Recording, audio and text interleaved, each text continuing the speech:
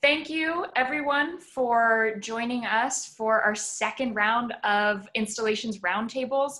With us today, we have the visionary and legendary Israel McCloud and Michael Stevenson. Um, we're really excited to have them with us. Israel's project is in District B, which I'll talk about in a second, and Michael's is in District C. Um, so the way this is gonna work, I'm gonna talk a little bit about the initiative in general, and then we will hear from the artists themselves about their projects. Then we'll have a little bit more open discussion and some Q&A. So let me screen share.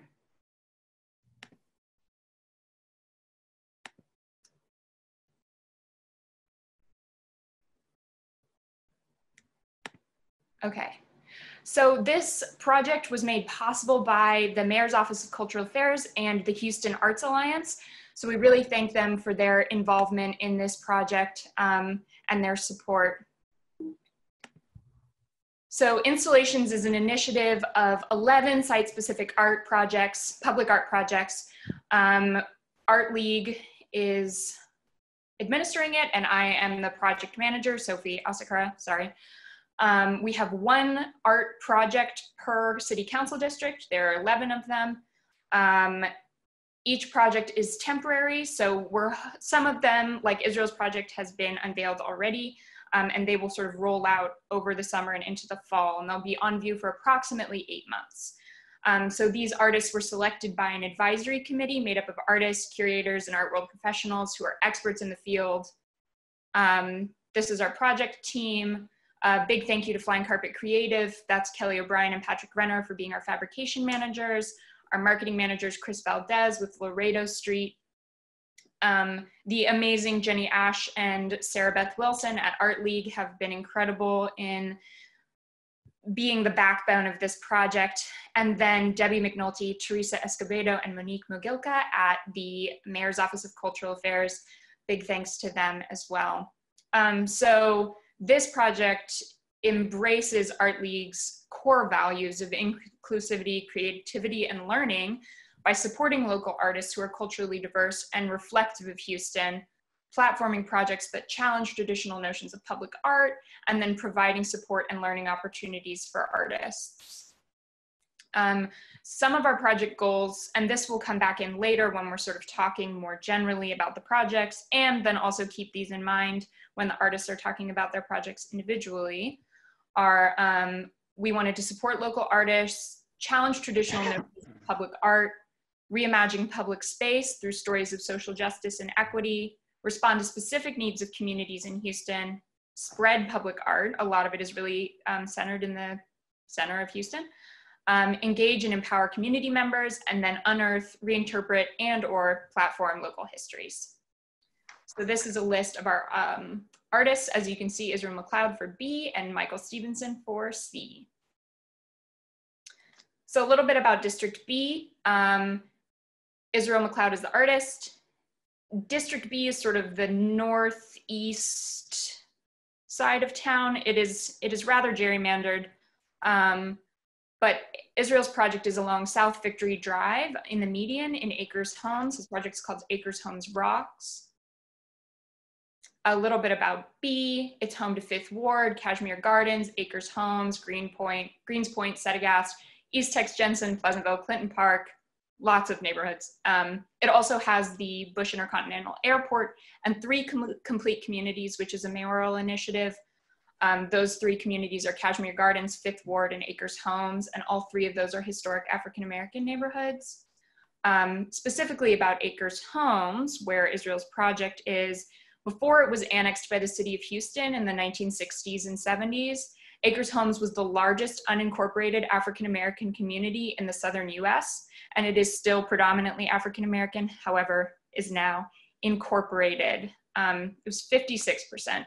Um, I think the census term is non Hispanic Black in 2015. Um, and then Michael Stevenson's project is titled Pardon Me Everyone it's in District C, um, and it's in College Park Cemetery, which is on uh, West Dallas Street. Um, District C is home to the Greater Heights, Neartown Montrose, Braeswood, Fourth Ward, Afton Oaks, Lazy Brook and Timber Grove, Meyerland, Braeburn, Midtown University Place, Greenway, Upper Kirby, and Rice Military neighborhoods. And despite currently being a majority white district, um, District C contains Freedmanstown in the Fourth Ward, which is a post US Civil War community of African Americans. Um, Freedman's home, and this is specifically relevant to Michael's project, um, is home to Antioch Missionary Baptist Church, Houston's first African American uh, Baptist church, and the church where Jack Yates was pastor and founder. Um, he then went on to found College Park Cemetery, where Michael's project is, um, which facilitated the burials of freed persons and other African Americans in Houston. Um, so that's my quick intro blurb. Sorry if I spoke really fast. Um, I would like to now turn it over to Israel so that he can talk a little bit about his project um, specifically. Israel, would you like to say a few words about why um, you selected Acres Homes and South Victory and um, a little bit about how Acres Homes Rocks came to be? Um, well, first of all, thank you for um, giving me the opportunity to participate uh, in this project as a whole. Uh, I'm honored and uh, I feel greatly um, um humbled, so to speak. Um, I initially chose Acres Home because of its, as you mentioned earlier, its its heritage, its very rich historical uh, stamina, having endured uh, many, many years of uh, the whole process of growth as Houston evolved into the great city that it is today. Uh, with its neighborhoods and its residents primarily being predominantly black. Of course, this is something that spoke to my own uh, ethnicity and uh, who I am in terms of uh, indigenous and native son. So I wanted to do something to honor that. Um, I don't live in Acres Home, nor have I ever, but I have always more or less interacted with uh, that neighborhood as a commercial and a free art, freelance artist um, for many, many years. Many uh, clients and uh, customers uh, I have serviced in that area, in that community. So it was um, somewhat of a um, epiphany, if you will, that I ended up uh, choosing that particular area of town to represent uh, in an artistic and creative way. I wanted to do something that enhanced, honored, elevated the community. I wanted to do something that spoke to the uh, residents there. The response has been overwhelmingly positive uh, from the very uh, beginning, and that's something that I hoped for and anticipated. And with my colleague and fabricator and dear friend uh, Alton Ellis, who uh, operates a company there, Ellis Ironworks, we were able to ultimately create uh, works of art that were uh, synonymous with the historical integrity of the community and the people. So my initial challenge was, what do I do? How do I approach this as an artist and uh, from a creative standpoint? Uh, there is a well-known mural that is in place at the uh, Beulah Shepherd Library uh, at South Victory in West Montgomery. So there were not a lot of structures that lent themselves to murals. So my second approach and thought was to create something that was freestanding, something that would um, have a high visibility factor. And I came up with the notion of these rocking chairs, these huge oversized rocking chairs, and thus the title, Acres Homes Rocks.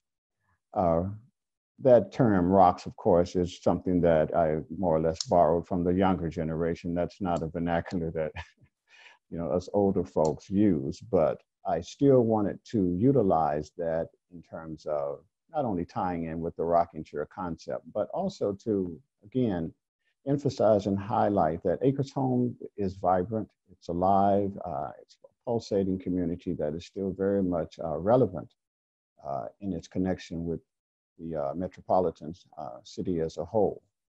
And so I went about the business of just designing these chairs um, in the most vibrant and contemporary and unique way as possible so that they would be eye-catching, visually stimulating, and at the same time uh, address some of the, um, the, cultural concerns as well, particularly with the one uh, Queens, uh, I think it's entitled Queens 44. And that's the one that has the silhouette of the uh, African uh, African American uh, female with the with this particular one you might you see here with the, the hair very vibrantly decorated. So, and that was overwhelmingly uh, received. I, I, had countless uh, uh, the women passing by, giving me thumbs up, high fives, and just really acknowledging the beauty of it and feeling that it was for them individually, which is what I really wanted to achieve in terms of my relationship to the, the residents. Uh, it's been, again, as I said, overwhelmingly positive. Um, people wanting more of the chairs. They're saying, well, why don't you just continue it all the way down the, the corridor? And uh, with so many different suggestions and um, just points of inspiration. So um, the installation as a whole has been a very positive undertaking from the very beginning. And um, as I mentioned initially, I feel very honored to just uh, be a part of it.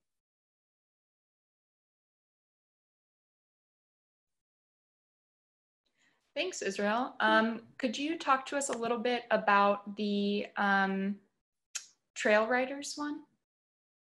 The Trail Riders one, which I uh, I think I entitled that uh, "Dignity and Dust." Uh, that again is something that came from my uh, initial connection with the community. Uh, every year they have the annual trail ride, and I would have clients who would seek me out and wanting me to paint and decorate their, their wagons.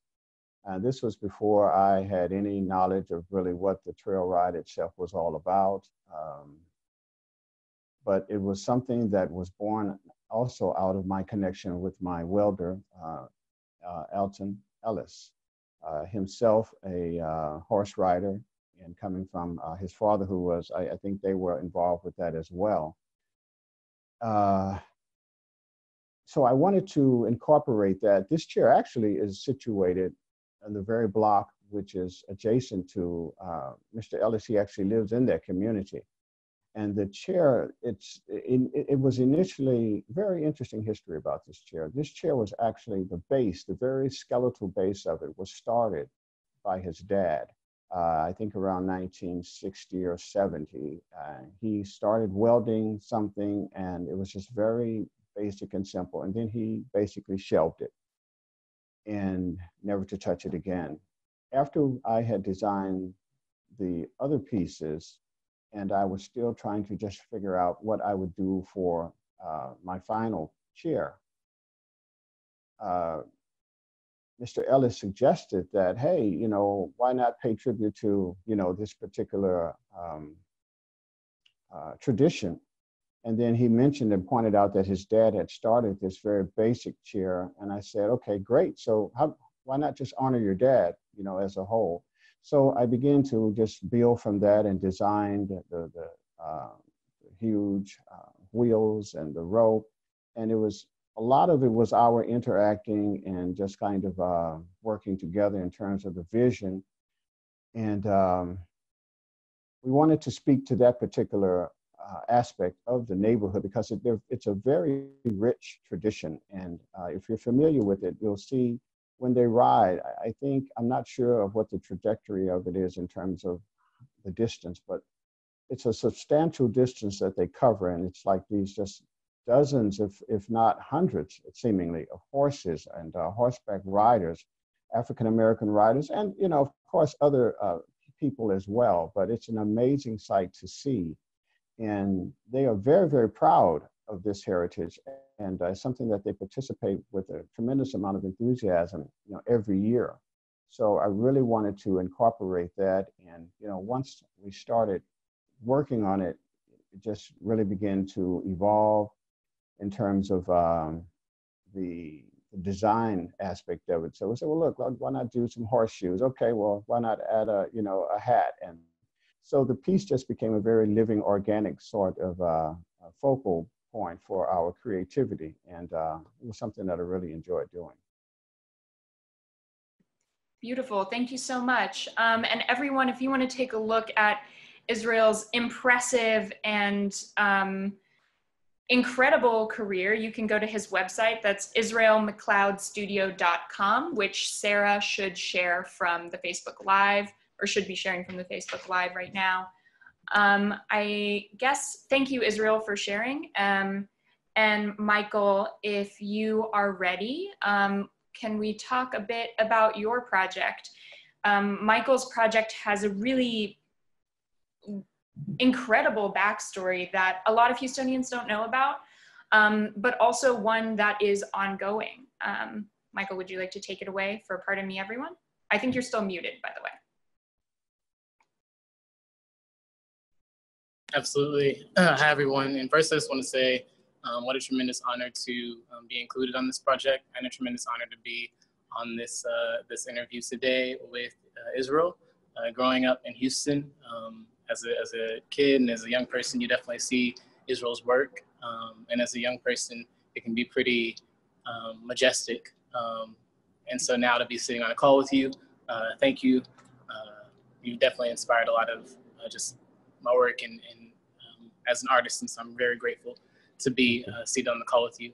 As far as my work, um, pardon me, everyone, um, the piece is going to be located at College Memorial Park Cemetery, uh, which is in District C.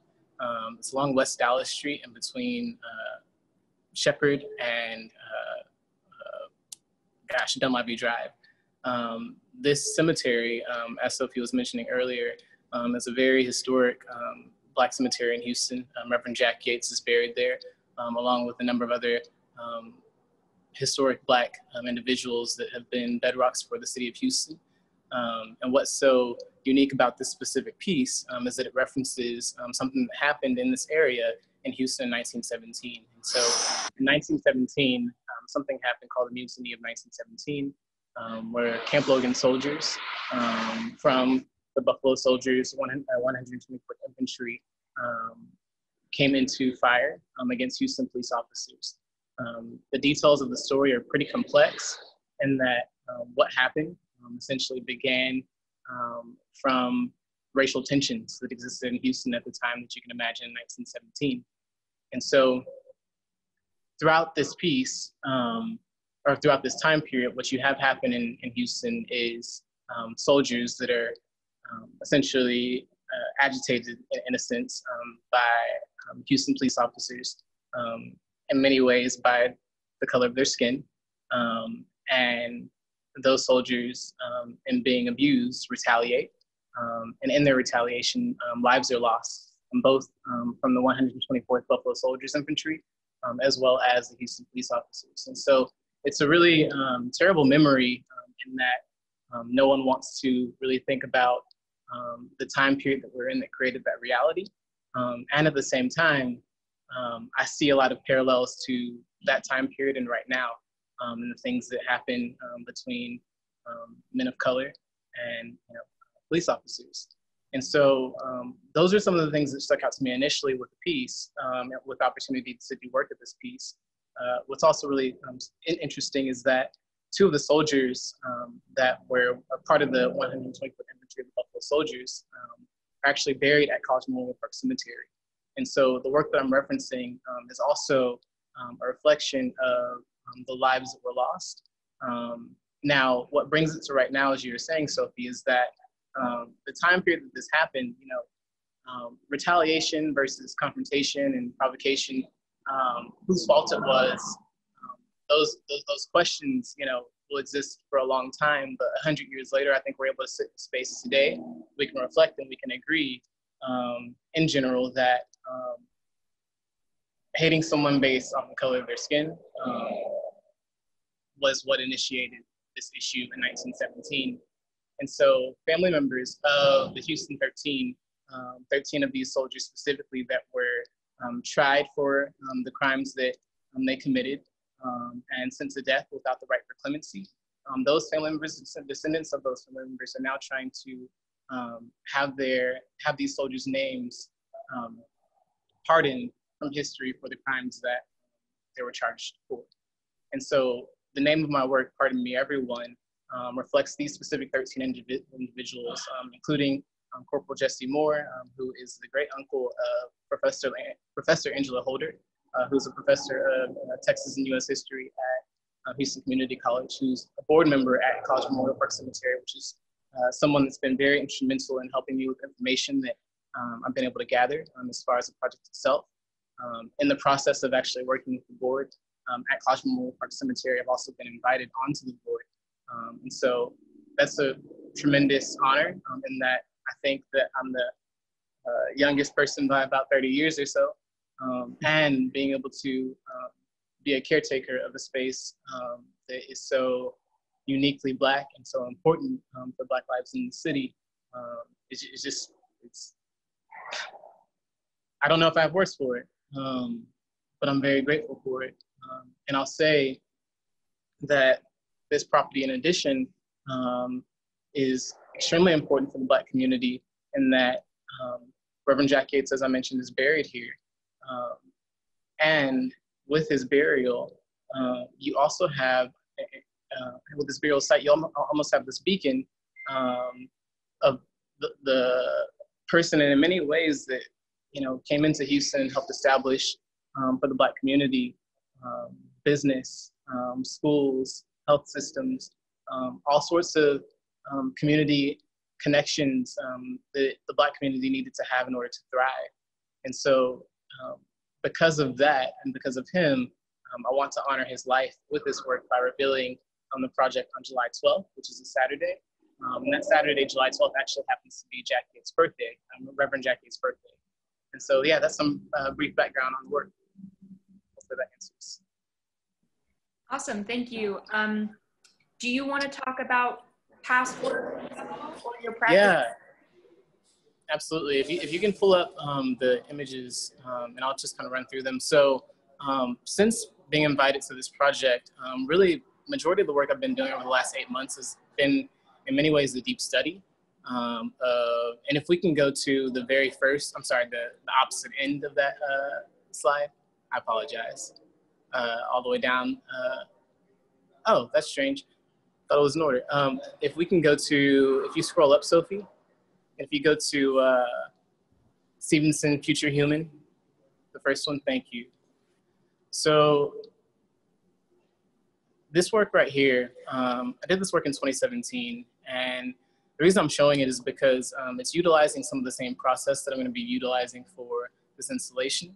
And so um, right now what you see is this installation I did in 2017 for um, a store called Lululemon.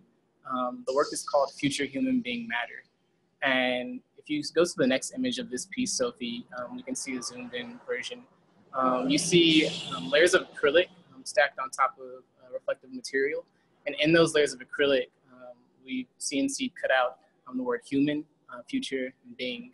Now, this process is something that I found almost somewhat like an optical illusion um, upon my first creation of it. Um, I love things in repetition, um, keeping things in simple form, um, allowing people to almost be with them in, um, uh, in somewhat of a meditative state. Um, a visually meditative state was what I was trying to accomplish.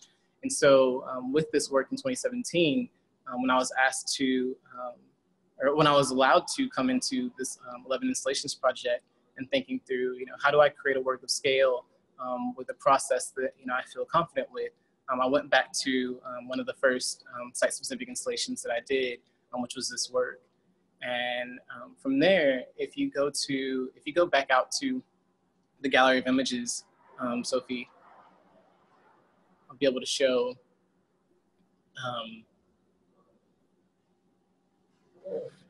this uh, piece on the this next section called uh, Stevenson Go Slow. Um, so with that, um, as I began thinking through um, this project, um, I spent a lot of time on the site itself at College Memorial Park Cemetery, um, specifically at the intersection um, where the bus station is, specifically at the intersections where West Dallas and Kirby meet. and so much time spent at intersections and streets and traffic, what you begin to watch is just the patterns of traffic and the signage that people pay attention to. And what's really beautiful about this specific space is that you have busyness happening all around this area, but on this specific cutaway of West Dallas, everything seems to be moving um, very much in slow motion. And so in the process of me building this work, um, me sketching it out, me thinking through what I wanted to create, um, kind of an internal dialogue that I began to have with myself was this process of going slow, allowing the work to really um, show itself to me, um, and trusting that process. And if you go to the next image, you'll kind of be able to see the zoomed in version. Um, and many people kind of, you know, know this as a crosswalk man.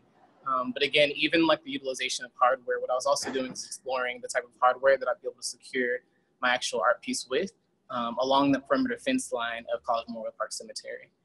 Um, and then from there, if you'll go out to the next work called Yellow Jacket, Sophie.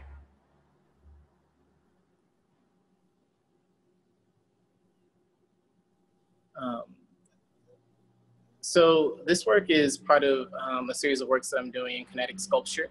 Um, this work is um, a canvas that's dyed into emerald, um, suspended from an oak tree. And at the cemetery itself, um, the entire property is lined with um, beautiful historic trees.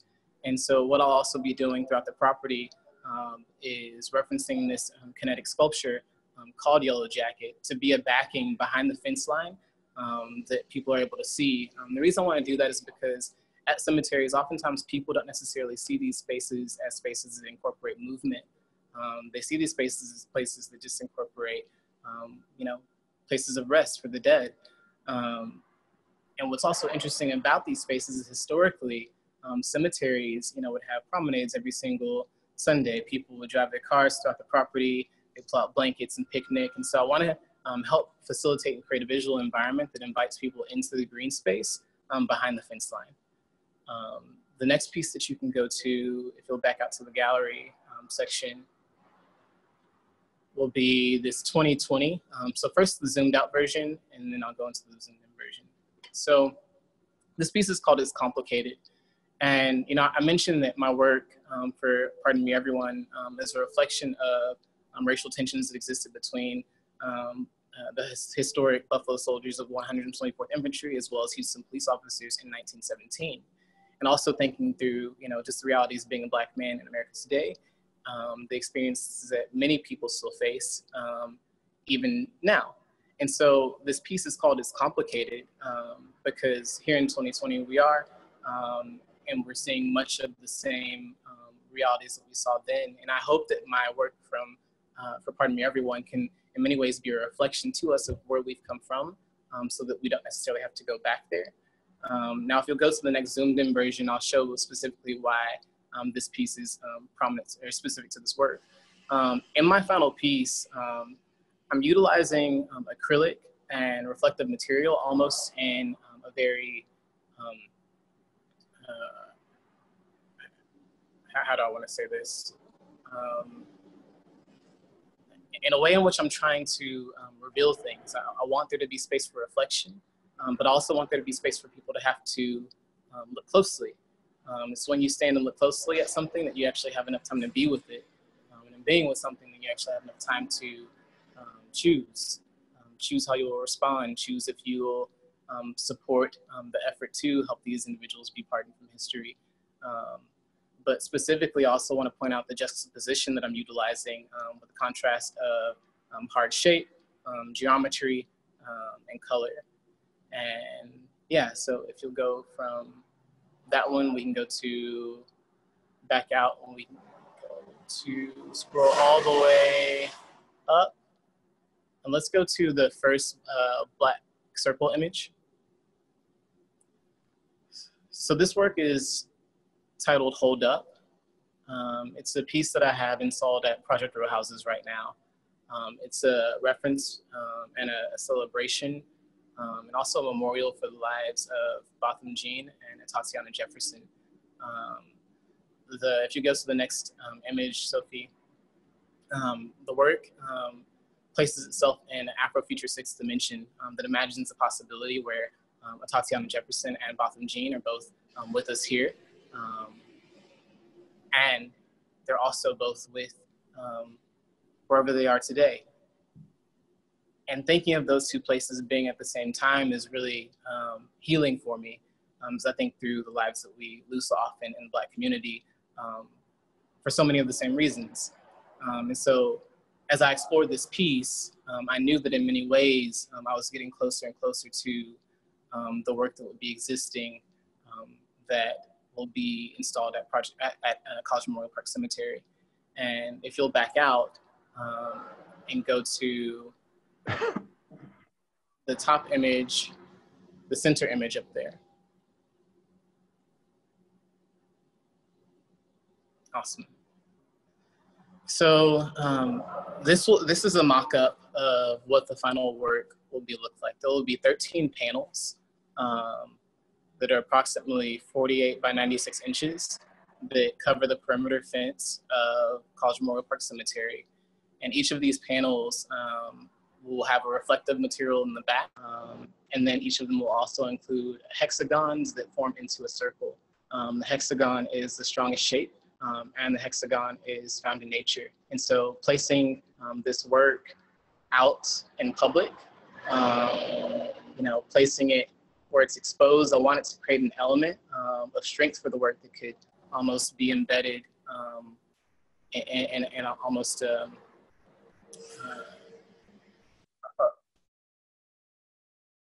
I don't know. I, I just know that I wanted the work to be protected. Um, there's previously a memorial that existed for Camp Logan, um, located at Memorial Park, that was defaced in 2017. And so, as I think through my work, um, the topics that I'm speaking through, um, essentials that exist, you know, for public art, um, what happens um, when you know you're challenging different narratives. Um, I wanted to create something that, as people engage the work, no matter who you are, whether you're engaging the work because you find beauty in it, or you're engaging the work because there's conflict within you, um, the reflection at least um, has you looking back at yourself. Um, and then um, each of these works will include one of the corporals, um, as I was mentioning, from the Houston 13. Um, and specifically, there is a circle inside of this hexagon shape. And that's just kind of a personal reference for one of my favorite albums from Stevie Wonder. and the album um, the name of the album is called In a Square Circle. And in the album, Stevie Wonder has this really beautiful song called Spiritual Walkers. Um, and in the song, um, Stevie Wonder talks about um, this idea of people being with us um, here now um, that come they come to show us light. And I think that in many ways, our ancestors, those that have come before us, you know, uh, they're here to show us the light. They're here to show us um, where we've come from again so that we don't have to return. So yeah, that's kind of a, a summary of my, of my work. Um, I'm really excited for it to be installed. And uh, yeah. Thank you so much, Michael. Um, so I guess now let's jump into um, a little bit of discussion. And if you have questions, now is a great time to put them into the Facebook Live so we can ask Israel and Michael. Um, so we discussed a little bit beforehand about what we wanted to talk about in our discussion, and Israel brought up the really excellent point of just this entire pandemic situation. I know it's overused, but it is unprecedented. I think that that is a, a proper way to talk about this. Um, and I think that the pandemic has provided new layers of meaning for both Israel and Michael's pieces. First, and kind of most surface level, in that creating and installing public art is has taken on kind of new levels of difficulty um, and has made us rethink the ways in which we put something into public space. Um, are we keeping ourselves and our fabricators and our team safe? Um, those new levels of difficulty, um, I don't think that the public are really aware of. So it would be great to hear from both of you about that. But also, another thing is that both of your projects um, reference the Black Houstonian experience. Um, and one thing that COVID has really um, underscored further is the levels of inequality, um, racial inequality that we face in our society, right? So um, Black Americans are much more likely to contract the virus and are also much more likely to um, die from the sickness. So that is partially due to um, income inequality, people having to go to work, uh, being unable to work from home. That's due to lack of quality care. Um, it's due to a whole range of levels and systems of inequality. Um, and so I'm wondering not only how has the virus affected your kind of logistic met like practice, um, the ways in which you're trying to get your work done, and also how has the virus changed the way in which you're thinking of serving the community with this work? Like, has it has it at all? And if it has, in what way changed the way that your art is sort of operating in the public sphere? Um, Israel, do you want to go first? Sure. Thanks. Well, interestingly enough, the whole COVID um, dynamic is something that if you if you study it, you'll see that it is something that there's a evolutionary process. It's evolving into something. There is no stagnation in terms of its presence and its impact. So, funny story. When I had slated my installation date, the same day that particular date, we were informed that I believe, um, I think uh, there had been some type of decision, a municipal from City Hall, that yes, that's what it was.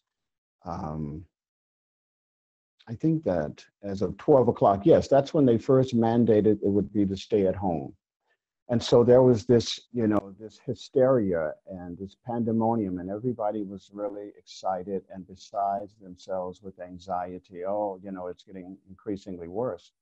And my first response was okay well and plus you guys art league had already at that point extended the uh, installation and the project as a whole had been greatly impacted and compromised as a result of it my initial response was, okay, well, I guess I better just, you know, wait and, and uh, you know, we'll just have to ride this out. And I, I had uh, went so far as went to my fabricator and told him, well, look, uh, they're going to institute, they're going to establish the stay at home. Uh, Houston's going to lock down as of 12 midnight. so I had uh, called my wife and I told her, well, yeah, this is this is what's going to happen 12 midnight. And she said, uh, she asked me over the phone. She said, uh, is, is is your uh, fabricator sick? I said, no. Uh, she said, are you sick? And I said, no. She said, then get get the get the art up. so she was very very uh, adamant and very uh, assertive about get the art up.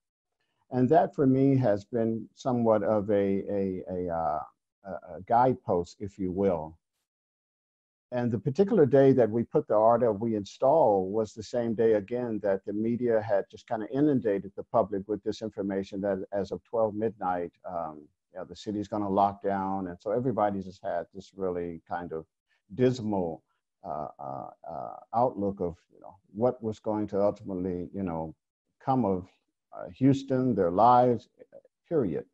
But as we were installing the art, the response was so overwhelmingly positive and the people reciprocated the um, the inclusion of this this new uh, element in their neighborhood to the extent that again as i mentioned earlier they were just extremely positive and excited. And uh, it's a, it was a very beautiful uh, spiritual reciprocity if you will.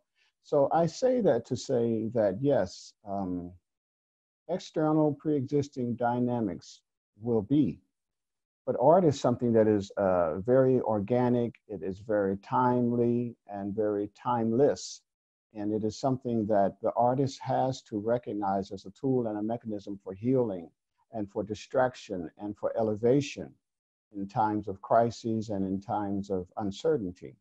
So it is important for me as an artist to continue to create and produce relevant and, and uh, life affirming artwork uh, not only for my own uh, energy and my own spiritual well-being, but certainly for the public and for humanity as a whole, because this is something that is needed, and not to, um, you know, not to come down on any particular uh, genre or, or institution, but the media unfortunately has a uh, habit of kind of just locking onto sound bites, and this is all that the people hear they just kind of hear these same sound bites over and over.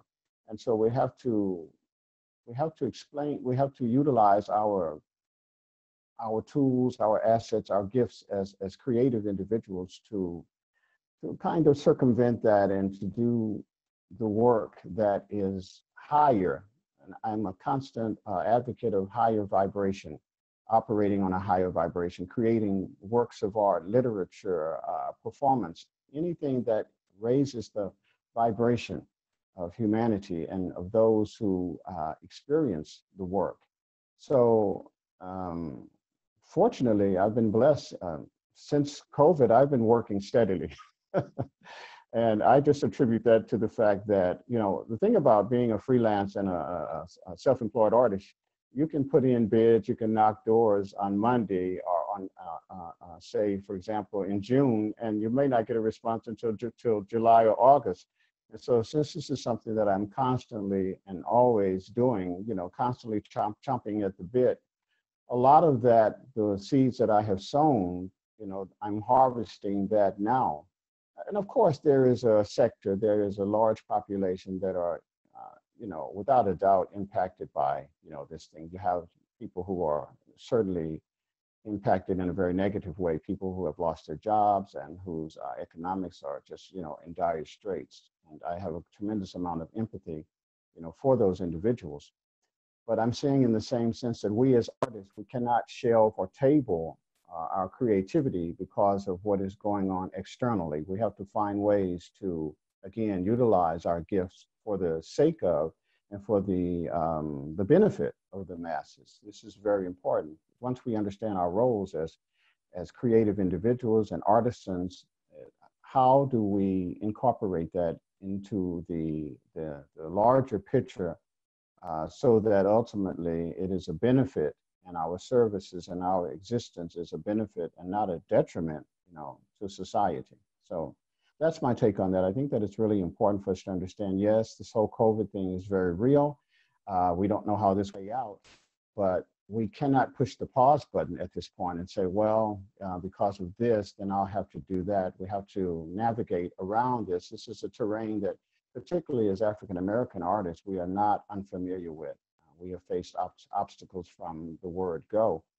So it's imperative that, again, we just be very creative, uh, not only with the canvas and in the studio, but also in how we view and facilitate uh, our role in society.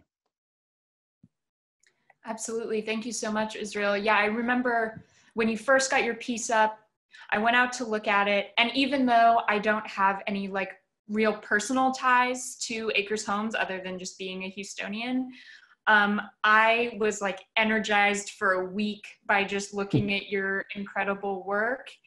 And it was it was super uplifting to in a time that is really just frankly scary and the unknowns are scary the knowns are scary everything's scary um, to see a piece that is like really about continuity and resilience and the like fertility of a place um, in terms of the strength and beauty and um, legacy of a whole community. It was it was really incredible. So thank you. Um, Michael, would you like to respond? Absolutely. Um, and I also want to say that I, I, had an opportunity to see Israel's work as well. Um, I used to spend my summers at my second job out of college um, running summer camps for kids at Settegast. And just knowing that like kids in that community get to see um, work that's that cool, I'm really excited for. Um, what I'll say is, as an artist um, in this experience of COVID, I think that the minute everything shut down, like things for me actually um, got maxed up. Um, at the moment, I happen to be installing work um, at Project Row Houses, and I also um, am the marketing associate at Writers in the Schools, which is a local nonprofit here in Houston. And so um, I suddenly kind of began blurring my professional life and my creative life at the exact same time. Um, and then in the process of kind of doing that, there's also um, continuing to work through um, what my installation at College Memorial Park Cemetery would be. And so um, I love work. Um, I love that I'm in a position in my life today where I get to wake up in the morning and work, where I get to wake up in the morning and create, um, where I have the privilege of knowing that like my mind um, and others around me can take an idea from concept into reality. And I don't take that lightly. And so um, throughout this experience of COVID, um, this time that's been, um, you know, in some ways given if you look at it with glass half full, um, and in some ways required. Um, I've used both the requirements and what's given um, to the best of my ability to continue to be in creation um, for the sake of creation itself. Um, I know that right now, kind of similar to echoing what Israel was saying, that um, you know, at 33, I'm planting seeds that in many ways I may not see for years to come, and I also realize that the things I'm experiencing right now are from seeds that I planted years ago that I don't even remember. Um, however, um, what I know um, in this experience as a Black artist in COVID is that um, we have a unique responsibility to continue to show our community um, what inspiration can look like in these times, what beacons of hope can look like in these times. That even though we're in an environment, in a world, and a media world specifically that's continuing to say that either we don't matter or that would like to see us not exist, um, that we have the right and that we're also finding the support um, from organizations like the City of Houston um, to create work to reflect back to us um, just how important we are.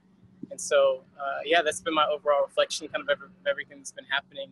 Um, and I'll say that, you know, with this experience with COVID, um, so many friends I've been speaking with, and my encouragement just to all of them is just um, been to breathe.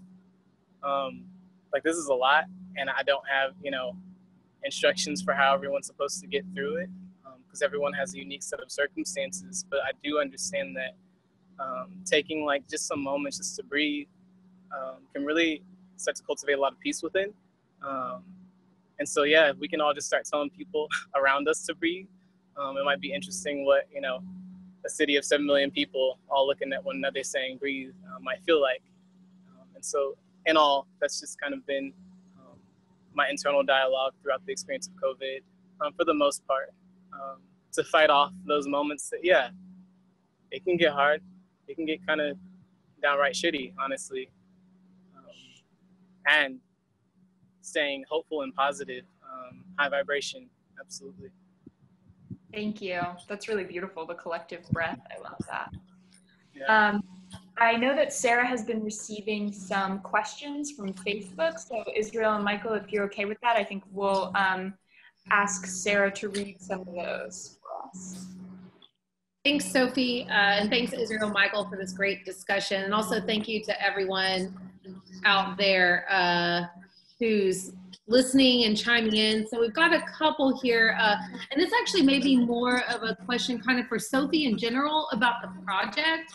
But Vinod Hobson, hey Vinod, thanks for chiming in. Um, wants to know if these installations will be permanent and that uh, Vinod would love seeing a lasting memorial. But Sophie, maybe you could kind of talk a little bit about the logistics of how long these installations and everything will be on view. Oh, you're muted, Sophie. Thanks. Um, sure. Thanks, Vinod, for the question. Um, so the way that the grant from the city works is that the projects are designated as temporary art. So anything on City of Houston land has to, um, it is permitted through a temporary art permit, which is kind of the maximum amount of time is nine months. Um, that is from like stepping foot on the property to removing the last of the art. Um, so Israel's piece, for instance, is on the public right of way. So maximum it can be on the land, um, which is including installation and deinstallation, is nine months, which is why we've said on view for eight months. That allows the artist some time to put in foundations and then get the piece up. Then it's on view, and then they'll have time to deinstall over time. Um, pieces like Michael's, um, Michael's pieces on private land so for the sake of the project, we're saying that everything is temporary. Um, but if an artist has a work on private land, they can come to an agreement with the property owner um, and that piece could become permanent. However, any piece on public land is uh, definitely temporary. Thanks, Sarah. Awesome. And then we do have another question uh, from Mariah Rockefeller. Hey, Mariah. Uh, and this is for both Israel and Michael. So maybe we'll kick off with Israel first and then move to Michael if they'd like to respond. Uh, Mariah asks, I'm curious about challenges and or surprises you encountered during the research process as you were developing your proposal and kind of what you were going to create. Um, again, I think, uh, as I mentioned initially, my challenge was purely from a creative uh, perspective. What do I create? Uh, how do I approach this blank canvas? And um, ultimately, what will be the most effective visual mechanism um, that will have the duration, as Sophie mentioned, of a nine month uh, lifespan. And so I ultimately decided to do the rocking chairs specifically on the right of way in the medium because I wanted the maximum visual impact. The people driving to and fro where they could not ignore or nor avoid the presence of this artwork of this uh, this entity, if you will, sitting there, speaking to them, reaching out and resonating. So that was the only challenge that I had in terms was just how do I approach it uh, from a a uh, creative standpoint. Uh, interestingly enough, uh, when I met with um, the fabricators initially that Art League introduced me to, and forgive me for forgetting their names, but we had decided, well, maybe we shouldn't do rocking chairs because I initially wanted the rocking chairs to be mobile for people to actually be able to uh, access them and sit in them. And then I thought, no, uh, after our dialogue, that from a uh, public health standpoint and safety, that would not uh, work because of the uh, possibility, of course, of injury, children, etc. And I did not want to draw the people to the art uh, and have it interactive in a physical way. So I decided early on to restrict them to just structural components that could be viewed and experienced uh, visually. So once I more or less just kind of fine tuned the technical aspect of it, um, it was pretty much a relatively simple process. Uh, in terms of, again, I wanted this to be a combination not only of uh, aesthetics, but I also wanted it to be something that was um, viable and um, uh, functionary. So this is why I came up with the concept of the giant A. I wanted to create something that was a totem, if you will, so when the people are driving into the community, here is this huge, uh, larger than life A, which is an, an announcement. And I more or less equate this to uh, historically, you you have situations or dynamics where you'll find yourself in a particular territory or a different uh, community or, or, or terrain. Uh, tribal, uh, indigenous people, they had a way of marking the turf so I wanted to create something that would announce that you are now in Acres Home 44. And I thought of no better way to do that than to construct and design a huge uh, towering A. And I decided to step go a step further, particularly being a, uh, spoken word artist uh, and poet. And I went ahead and utilized a poem on the piece, which reads, for those of you who haven't seen it, uh, some roses bloom from uh, some roses bloom from concrete roughness, defying the odds with thorny toughness. From trials and challenges, strength is grown. This is the beauty of Acres Homes. So I wanted to tie that in, this mixed media piece, and at the same time, make it a definitive uh, expression of who Acres Homes is and what its residents are all about in terms of their resilience and their determination to thrive and move forward in spite of cultural appropriation and gentrification and all these different dynamics of just social erosion, but still have this element of, of triumph and survival. So for me, that basically was the um, kind of the gist of uh, my, my motivation for the installation. Thank you, Israel. Uh, so, Mike, I think we'll turn it over to you if you have a response to the question as well. And it was just, again, what challenges and or surprises did you come across along the way? Absolutely. Um, I have two specific ones.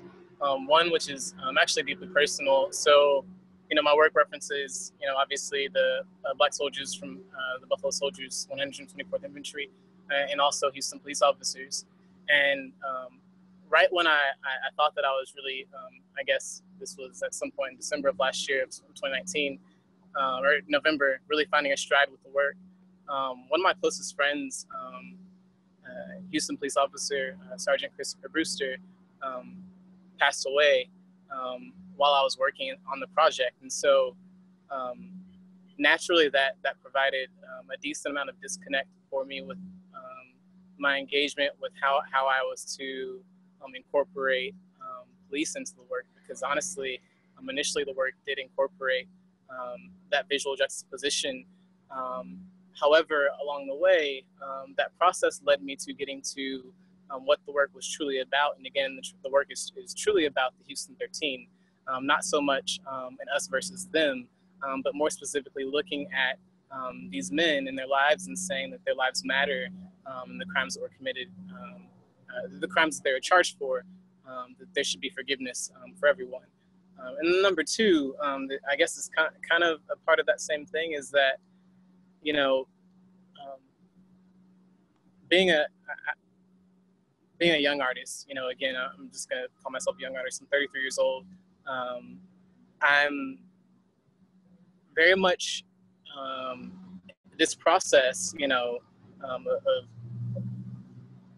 placing a public sculpture um, at a very important place in the city has been, um, you know, pretty monumental, as you could imagine and I've really wanted to go about it correctly.